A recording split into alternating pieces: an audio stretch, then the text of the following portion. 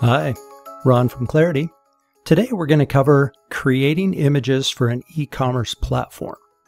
Now, one of the things that we need to think about are, am I B2B? Am I B2C? How important are the images? Am I going to turn on product zooming? What is the catalog going to look like? Now, most of my clients, even if they're B2B, still want a good looking catalog. They still want image zooming. So I'm going to show you what I did on my demo site. So here's my demo site. I have about 150 products, but you can see even with a whole bunch of mixed different products, they all look pretty good. And there's a reason for that. That's planned. So let's go take a look at this Nikon just to show you about the quality of the products. Now I can hover over my product. Here's image zooming. I can click and zoom in. That's a good looking image. And now as I click through the images, you'll notice they load pretty quickly. There's no delay whatsoever. They're all very high resolution. How did I do that? Well, I standardized on a specific template. So let's go in and take a look at that template and see what that looks like. Now normally, I'm going to zoom out just a little bit. So here's a client that I did, Circle Y Amish Furniture. They asked me to do all of their images for them for all of their furniture. So they sent me all these different pictures from different vendors, and they were different quality, different sizes, different colors, different shapes. Nothing was standard, but he wanted a good looking website. So I standardized and normalized all the images for him. So basically, what I did was I created this thousand by thousand. Now, if you go out and read and Google it, some of them use 1024 by 1024. Basically, 1024 by 1024, 72 DPI. That's what I use. That's been the standard for a while. Now, for some clients that are B2C, like I've got Bulgari and some really high end clients that are really pushing the 4K monitor and the Retina display capabilities, you might double that and double the DPI. So you might want to go 2048 by 2048 by 150 DPI. Those are going to be some really big, high res, beautiful graphics. It's also going to affect the page load speed. So instead of going with a whole bunch of images on one page, you might lower it to one or two, or you might want to make sure that they are not only highly compressed, which I'm going to walk through, but they're loaded up on a CDN. Anyway, let's just touch this. You'll notice I came in a half an inch off each side and I went ahead and created some guides here. So I've got these guides. Now what I normally do is I move around the image. Let's go grab it. I'll move around the image here until it touches the top and bottom, and then I'll center it between the two sides. Or let's say if this was a desk and it was wider than it was taller, I would make sure that it touched and stretched both guides side to side. And then do you center it?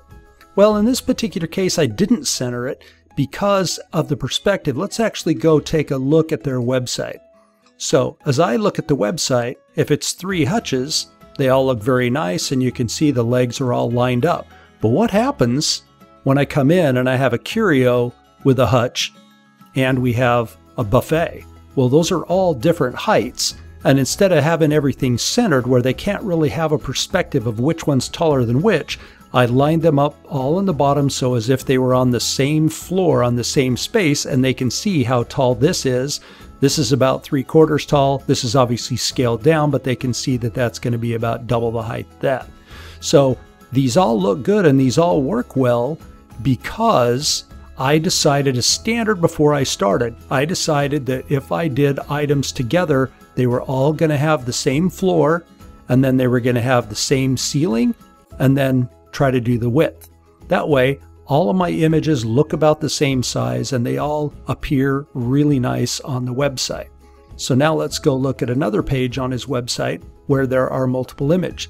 The other reason I like to do that is when I zoom in on one and I start scrolling through, if they're different style chairs, even though the photographer adjusted just a little bit, it's very easy to see what it looks like with and without the arms, right? So even though it jumps a little bit based on the photographer's positioning of the chair, it still looks really nice. The floor's in the same space and it looks good.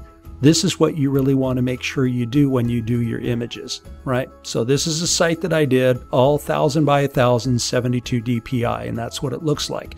That's the same thing that I did with the Nikon. This is all 1000 by 1000, 72 DPI.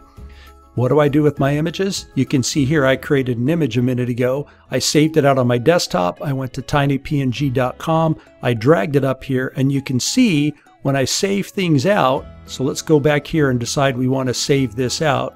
I would do File, Save As. I drop down to JPEG, and the reason that I drop to JPEG is I can control it a little better. So let me do version 3 now. And so now you can see it if I went at 12, it's 426. That's a little big. I don't want it quite that big. If I go to 11, I want to be under 150K ultimately. Now this is 314. Sometimes I get 60% compression. You can see on that last one I did, I got 58%. So that's about half. So I could go at 314, about half, and I could be right where I want to be. Normally, I know I usually get about 35 to 45%, so I probably would end up picking this 10, going at 232, and then it would save down and be smaller and load faster. But let's just try the 11 to see where we go. So we'll do 314. We'll come back to tiny PNG, We'll drag it, dump it over here. You can see this one I saved at a higher resolution than the one I did earlier but I cleared it out and look at that it got even better compression. I'm down at 77k now I can download that.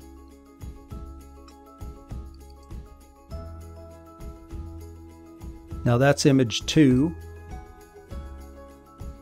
and now here's image 3 you can see it's a little bit lighter color this has some different color variances, and that's why this one, even at a lower resolution, took a little bit bigger size a file than this one did. But here's the one we just created, Hutch number three.